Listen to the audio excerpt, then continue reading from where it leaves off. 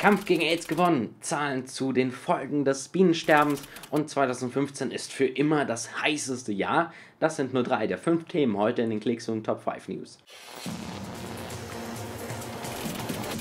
Wird dieses Jahr das heißeste Jahr seit Anbeginn der Messungen. Wenn man die letzten Wochen so Revue passieren lässt, könnte das schon stimmen. Die Nationale Ozean- und Atmosphärenverwaltung NOAA in Washington berichtete von einer Oberflächendurchschnittstemperatur auf den Ozeanen und den Landflächen von 16,33 Grad Celsius. Der Durchschnittswert des 20. Jahrhunderts liege fast ein ganzes Grad darunter. Letztes Jahr im Juni konnte der bis dato heißeste Tag seit 1880 gemessen werden.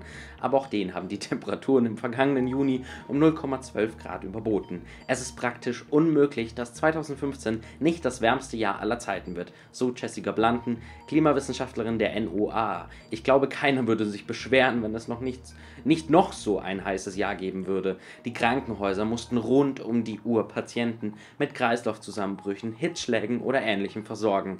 Die enorme Hitze forderte auch viele Tote. Allein im südlichen Teil Pakistans starben über 1200 Menschen daran daran. 2030 ist der Kampf gegen AIDS gewonnen. Am Dienstag teilte der UN-Generalsekretär Ban Ki-moon voller Freude mit. Die Welt hat es geschafft, die AIDS-Epidemie anzuhalten und zur Umkehr zu bringen. Es leben derzeit zwar immer noch ca. 37 Millionen betroffene Menschen auf der Welt, aber in den letzten 15 Jahren hat sich vieles getan. Seit 2000 konnte die Zahl der Neuinfektionen um 35% reduziert werden. Vor elf Jahren starben die meisten Menschen an HIV. Bis heute konnte diese Zahl fast halbiert werden. Ban Ki-moon sieht somit eines der Ziele, also der UN-Ziele, als geschafft an. Vor 15 Jahren wurden ganze acht Ziele verfasst. Das sechste Ziel lautete unter anderem bis 2015 die Ausbreitung von HIV-AIDS zum Stillstand Stillstand bringen und eine Trendumkehr bewirken. Um dieses Ziel zu erreichen, wurde bis heute fast 190 Milliarden Dollar eingesetzt. Dieses Geld ist wirklich gut investiert. Eine weitere erfreuliche Zahl, ganze 75 Prozent der schwangeren Frauen auf der ganzen Welt sind in ärztlicher Behandlung. Damit eine noch bessere Versorgung gewährleistet werden kann, soll das jährliche Budget von 22 Milliarden auf 32 Milliarden Dollar erhöht werden. Die Aufstockung des Budgets könnte es mehr Menschen ermöglichen, medikamentös behandelt zu werden. In 15 Jahren soll der Virus vollständig ausgebremst werden. Die Erde erwärmt sich, das Eis schmilzt. Klassisches Standard-Klimawandel-Szenario. Nicht aber am Nordpol, so die Experten. Am Nordpol nahm das Eis zwischen 2012 und 2013 sogar zu. Forscher der University College London berichteten darüber im Nature Geoscience Fachmagazin.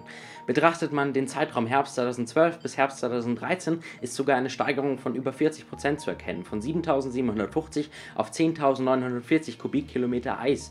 Der Gryostat 2 Satellit zeichnet schon fünf Jahre die Arktis mit, seinem Radarstrahlen, mit seinen Radarstrahlen auf. So wie sich manche Fische orientieren mit Schallwellen, so ähnlich arbeitet auch der Satellit. Mit den Strahlen erzeugt er Wellen. Anhand des Echos kann der Satellit berechnen, wie dick die Eisschicht ist bzw. welches Volumen sie hat. Ein Problem, das bisher nicht behoben werden konnte, ist die exakte Messung der Packeisflächen. Der darauf liegende Schnee würde die Messungen stark verfälschen. Aktuell würde man aber die Forschungen so gut wie es derzeit möglich ist betreiben.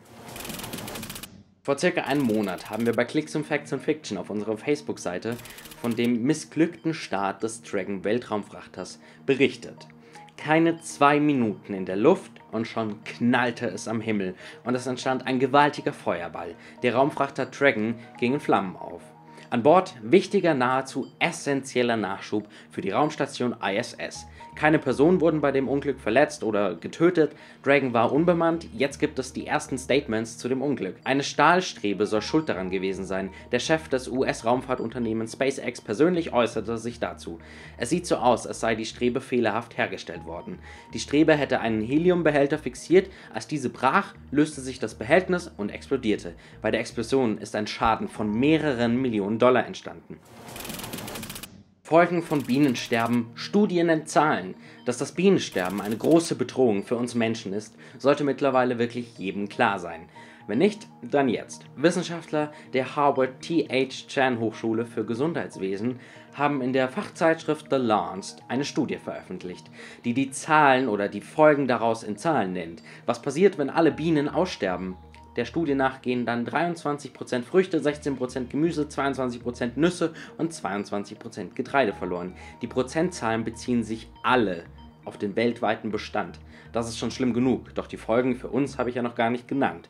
Neben dem, dass mehrere Milliarden Menschen an Vitamin A und oder an Folatemangel leiden würden, gäbe es jährlich 1,42 Millionen mehr Tote, würden nur 50% der Bienen aussterben, gäbe es immer noch 700.000 mehr Tote im Jahr. Wer jetzt noch nicht verstanden hat, wie wichtig es ist, Bienen zu schützen, der sollte sich mal die Zahlen aufschreiben und einfach nochmal durchlesen. Oder sich das Video hier oben anschauen. Das Bienensterben bedroht die Menschheit. Zur App und zum Blog kommt ihr hier unten. Und was denkt ihr über einen menschlichen Meilenstein wie den der UN? Ist ja mal was ganz anderes als die üblichen technologischen Meilensteine. Würde mich mal interessieren. Und dann wünsche ich euch jetzt noch ein schönes Wochenende.